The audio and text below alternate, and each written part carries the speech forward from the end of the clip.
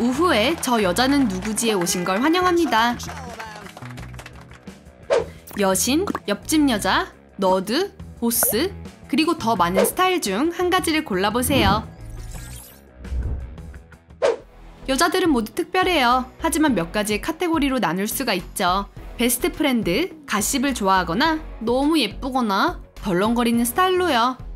우후가 나눠본 여러 스타일의 여자들을 보고 여러분의 친구 중 누군가가 떠오르는지 확인해 보세요. 만족하기가 너무 어려운 스타일이에요. 선물을 가져오더라도 조금 부족하다고 생각하거든요. 이런 건 도대체 어디서 사는 거지? 50센트처럼 생겼어. 안 받을래. 데이트 상대가 정말 까다로워요. 메뉴에서도 가장 비싼 걸 골라서 저는 그냥 물이나 마셔야겠어요. 우와, 왜 이렇게 돈을 아끼려고 하는 거야? 그리고 왜 이렇게 덜렁대? 조심해! 이거 구찌라고. 무슨 말인지 알지? 다신 연락하지 마. 하지만 돈 냄새가 나면 바로 달려오죠. 돈의 여왕을 소개합니다. 이 사람의 사랑은 아주 비싸답니다.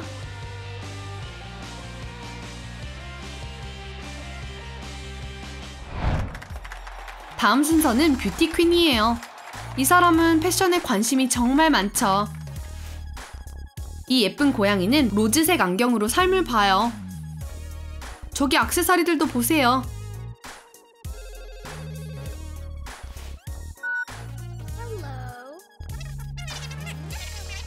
유니콘도 부러워할 슬리퍼네요. 친구들과 길게 대화를 나누는 게 하루의 일과죠. 오늘은 어디 갈까? 패션쇼 갈래? 아니면 새로 열린 클럽에 갈래? 아니면 리얼리티쇼 찍는 곳에 가볼까?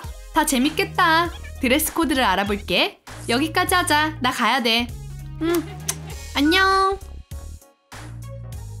하루 중 가장 큰 고민은 복장을 고르는 거예요. 오늘은 어떤 핑크색을 입을까? 음, 이게 좋겠어. 글래머러스한 룩이 완성됐어요. 뭔가가 부족한데? 그렇죠. 작은 강아지.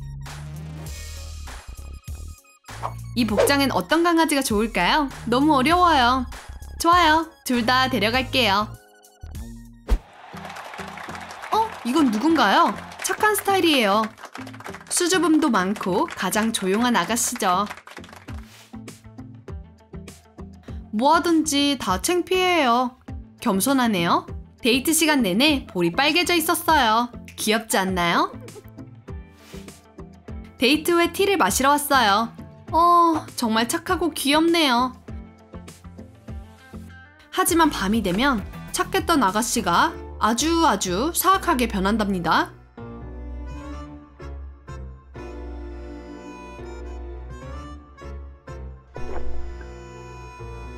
거기 조용히 하세요.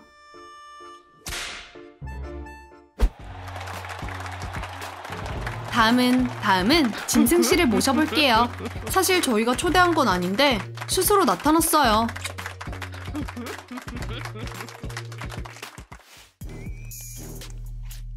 짐승 씨는 규칙이나 에티켓, 예의라고는 찾아볼 수 없는 세상을 살고 있네요.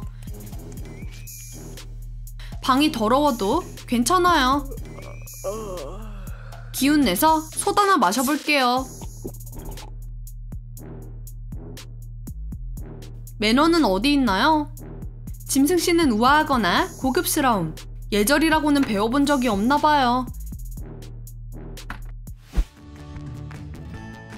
이 젊은 아가씨는 항상 바빠요. 일찍 퇴근? 들어본 적이 없어요. 아직도 할 일이 100개나 남았다고요.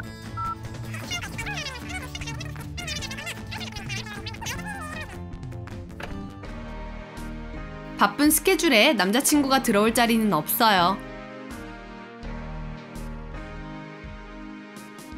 꽃은 됐어. 나 지금 컨퍼런스 전화해야 한다고. 혹시 메모할 종이 있어?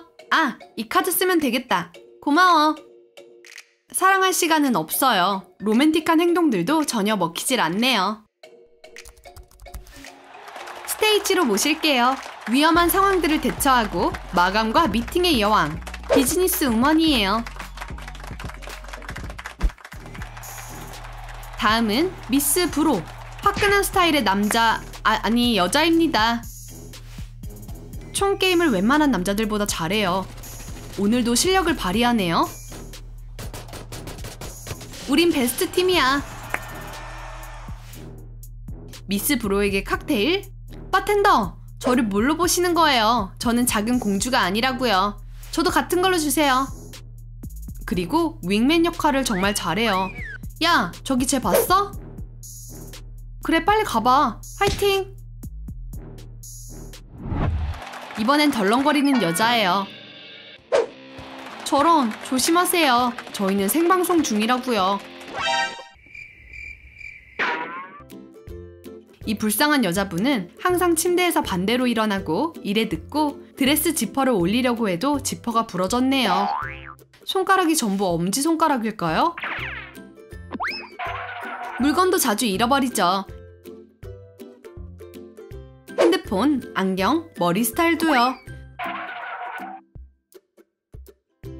너무 급하게 준비하다가 향수를 눈에 뿌렸어요. 솔직히 도와주고 싶은 마음이 드네요.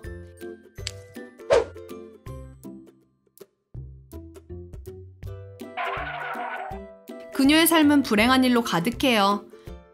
가만히 서 있는 사람을 치는 일은 흔치 않은데 핸드폰이 깨지진 않았겠죠?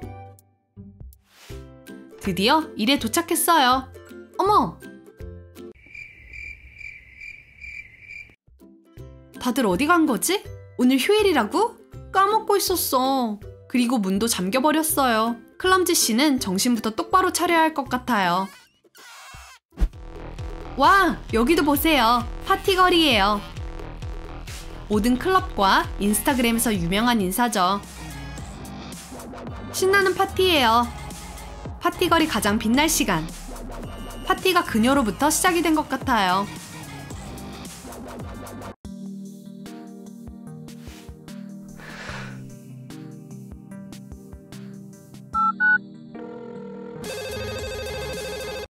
쉿, 다 조용히 하세요. 남자친구 전화해요. 응, 그래, 자기야. 나 30분 뒤면 집에 도착해. 이제 다시 놀아요.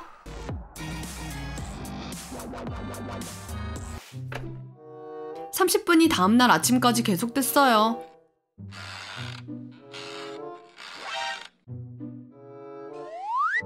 어, 일어났어? Good morning. 나 지금 일 가려고. 이 신발 괜찮지? 로맨틱한 영화 데이트. 글쎄, 이 사람이 리모컨을 빨리 찾으면 말이죠. 멍청이.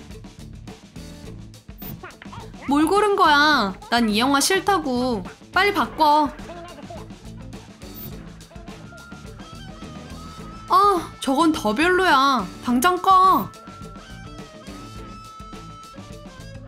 알겠어. 이 오페라나 보자. 계속 그렇게 부스럭거릴 거야? 과자를 열 거야 말 거야? 뭐 하는 거야? 왜 눈을 깜빡여? 너 나 화나게 하려 그러지? 그만 움직여. 난 조용히 보고 싶다고. 진짜로? 핸드폰 본다고? 지금? 너 까먹었나 본데 우리 영화 보는 중이야. 됐어. 그만해. 나 갈 거야. 신사숙녀 여러분, 미스 히스테리컬을 소개합니다. 이 사람의 신경 거스르지 마세요. 이 두 명은 기저귀를 찰 때부터 알았어요. 그때도 서로 좋아하진 않았죠. 학교에 가서도 그대로였어요. 서로 싸우고 협박하고 거짓말을 하면서 유치하게 굴었네요. 스미스 선생님, 얘 반칙이에요. 그리고 절 놀려요. 그리고 더러워요. 제발 딴 데로 옮겨주세요.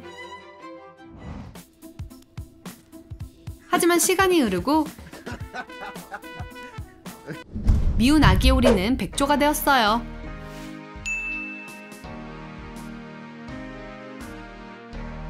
더 이상 괴롭힐 수가 없네요. 어릴 적 친구를 축하해주세요. 이 남자의 심장을 훔쳐가고는 새 신부가 되었어요. 이 사람은 모두에 관한 일을 알고 있어요. 미스 가시 거를 만나봐요. 이 사람이 듣는 모든 말은 좋지 않게 되돌아올 거랍니다. 이 친구에게 비밀을 말했다면 다른 모든 사람이 알고 있다고 생각하면 돼요. 무덤까지 비밀을 가져가겠다고 약속을 해도 말이죠. 나 잠깐 나갔다 올게.